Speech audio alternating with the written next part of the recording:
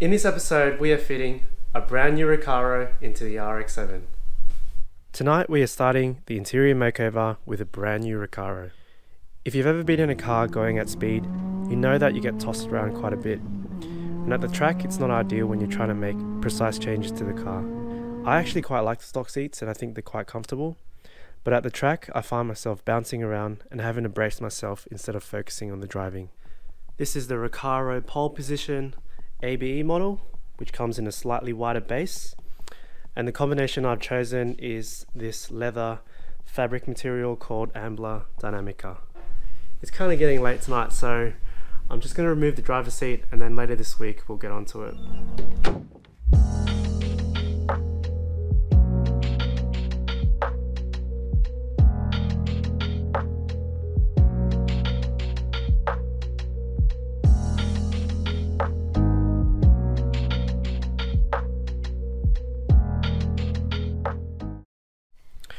So tonight we move on to mounting the seat.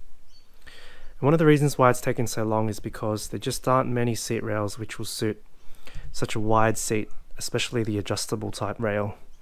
And the RX-7 cabin is actually quite narrow, so none of these rails, these two, actually would fit the seat.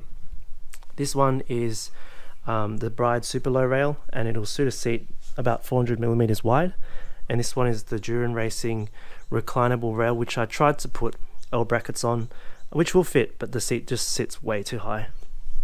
So I've ended up with these Ronin Speedworks fixed mount seat brackets.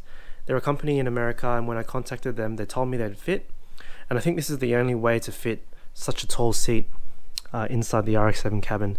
There simply is not enough room to fit sliders, and this seat really needs to sit as low as possible. So this is what you get from Ronin Speedworks. You get two brackets which bolt into the floor pan on these four holes and you've got two L brackets which will bolt straight into the seat. And after that, these should just pop straight on and they'll be adjustable depending on the width of the seat. And in case you were wondering, these brackets are symmetrical, so these will go onto a driver's side or a passenger side, right hand drive or left hand drive. So I'm just going to go ahead and do a mock fit and then we'll take it out of the car again, adjust the seat properly and put it back in.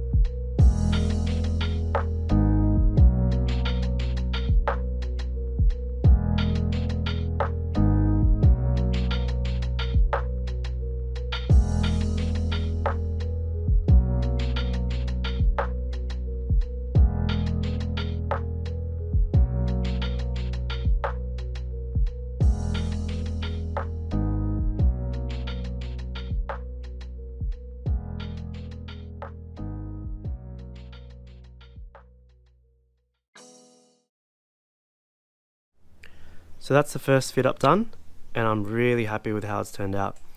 This is in the best driving position for me. I like to sit slightly lower than stock and this is in that position. As it is adjusted, this seat is already on the lowest position and I can't fit my hand between the floor pan and the seat. So I reckon if you're six foot and over or you like to sit like way on the floor, I think this seat's probably not for you because this is as low as the seat's going to go. So what's left to do now, I'm going to take the seat back out and tighten up all the bolts.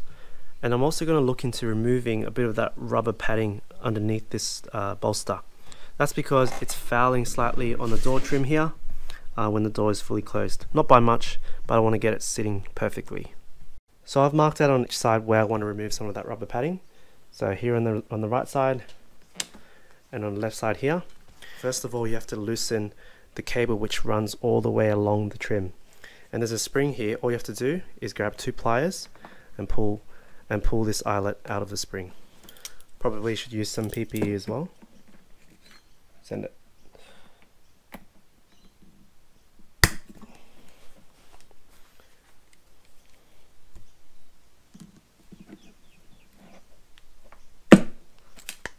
There we go.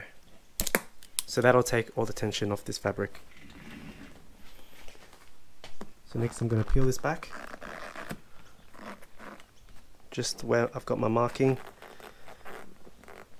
And that's the rubber I'm going to be removing. You should be able to expose the fiberglass and just cut it.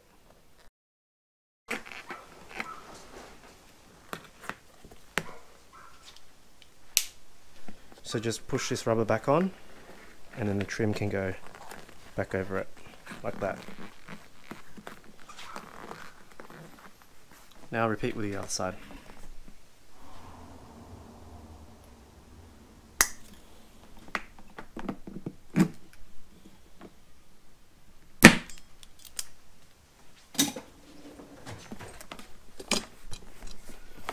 And that's the rubbers removed.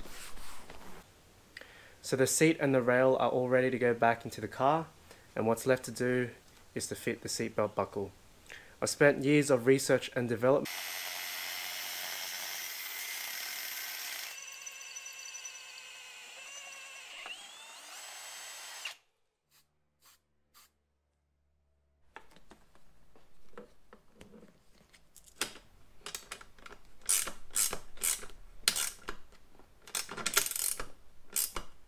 So the Recaro is ready to go back in the car and I just thought I'd show you guys a side-by-side -side comparison of the two seats and you can just see how much wider the Recaro is compared to the stock seat.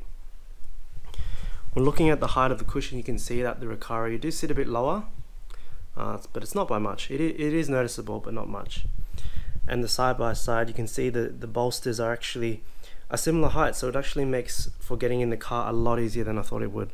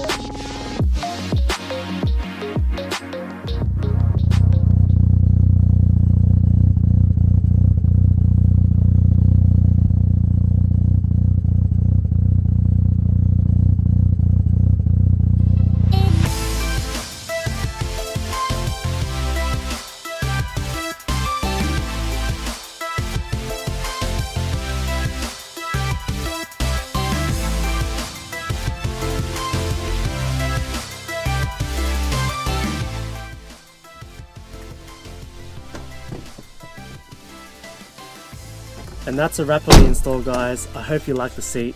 I reckon this Recaro just suits this interior perfectly with the leather, but I must add, the only downside, and I mean the only downside to this seat, is just how wide the base is, and that's the reason why it's so comfortable. And there is still a slight contact with the door trim, and I mean just slightly. It's really not bothering me that much, but I do have a solution and I'll definitely keep you guys updated when I've done that. Once again, thanks everyone for the support. You guys are the ones keeping me going with this channel, so I really appreciate all the likes, all the subscribes, and I'll see you guys in the next video.